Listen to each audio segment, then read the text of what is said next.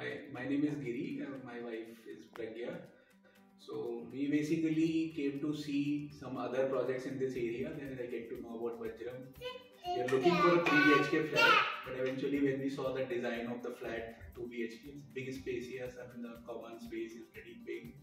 So it somehow, I mean, uh, I mean, it is okay in terms of uh, the requirement we are looking for. And Rakshak showed, showed us with lots of patience. He gave very decent time to you know explain everything. So yeah, it was it was a great experience. And the view from a balcony and all like, road, which is bit ahead of the main road, that is also good.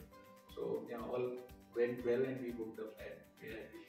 Even we are excited about Yeah. our, This is our new second home. Yeah, this is our second home. We have another one.